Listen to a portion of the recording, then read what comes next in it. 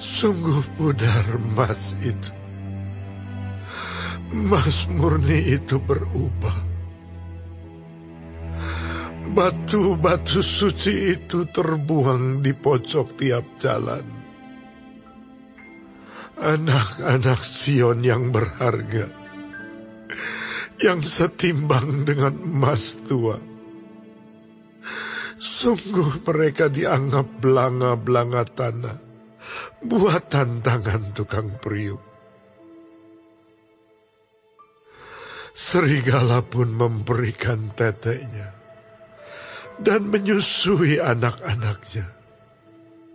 Tetapi putri bangsaku telah menjadi kejam, seperti burung unta di padang pasir.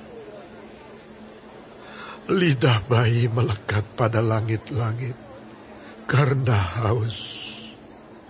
Kanak-kanak meminta roti, tetapi tak seorang pun yang memberi. Yang biasa makan yang sedap-sedap, mati bulur di jalan-jalan. Yang biasa duduk di atas bantal kirmisi, terbaring di timbunan sampah kedurjanaan putri bangsaku melebihi dosa Sodom yang sekejap mata dibongkar bangkir tanpa ada tangan yang memukulnya. Pemimpin-pemimpin lebih bersih dari salju dan lebih putih dari susu. Tubuh mereka lebih merah daripada merjan seperti batu nilam rupa mereka. Sekarang rupa mereka lebih hitam daripada jelaga. Mereka tidak dikenal di jalan-jalan. Kulit mereka berkerut pada tulang-tulangnya, mengering seperti kayu. Lebih bahagia mereka yang gugur karena pedang daripada mereka yang tewas karena lapar, yang merana, dan mati sebab tak ada hasil ladang. Dengan tangan sendiri, wanita yang lemah lembut memasak anak-anak mereka untuk makanan mereka tatkala runtuh putri bangsaku. Tuhan melepaskan segenap amarahnya. Mencurahkan murkanya yang menyala-nyala. Dan menyalakan api di Sion. Yang memakan dasar-dasarnya.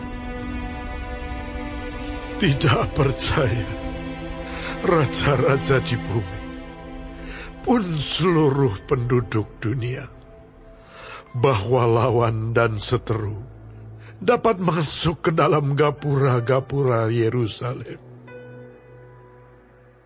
Hal itu terjadi oleh sebab dosa nabi-nabinya dan kedurjanaan imam-imamnya yang di tengah-tengahnya mencurahkan darah orang yang tidak bersalah. Mereka terhuyung-huyung. Seperti orang buta di jalan-jalan, cemar oleh darah, sehingga orang tak dapat menyentuh pakaian mereka. Singkir, najis, kata orang kepada mereka. Singkir, singkir, jangan sentuh. Lalu mereka lari dan mengembar. Maka berkatalah bangsa-bangsa. Mereka tak boleh tinggal lebih lama di sini. Tuhan sendiri mencerai beraikan mereka. Tak mau lagi ia memandang mereka.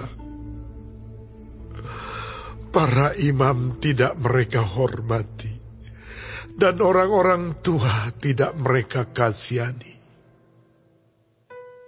Selalu mata kami merindukan pertolongan, tetapi sia-sia. Dari menara penjagaan, kami menanti-nantikan suatu bangsa yang tak dapat menolong. Mereka mengintai langkah-langkah kami, sehingga kami tak dapat berjalan di lapangan-lapangan kami. Akhir hidup kami mendekat. Hari-hari kami sudah genap. Ya, akhir hidup kami sudah tiba. Pengejar-pengejar kami lebih cepat daripada burung Raja Wali di angkasa. Mereka memburu kami di atas gunung-gunung, menghadang kami di padang gurun orang yang diurapi Tuhan. Nafas hidup kami tertangkap dalam pelubang mereka. Dia yang kami sangka. Dalam naungannya, kami akan hidup di antara bangsa-bangsa. Bergembira dan bersukacitalah Hai Putri Edom, engkau yang mendiami tanah Us, juga kepadamu piala akan sampai. Engkau akan jadi mabuk, lalu menelanjangi dirimu. Telah hapus kesalahanmu, Putri Sion Tak akan lagi Tuhan membawa engkau ke dalam pembuangan. Tetapi kesalahanmu, Putri Edom, akan dibalasnya. Dan dosa-dosamu akan disingkapkannya.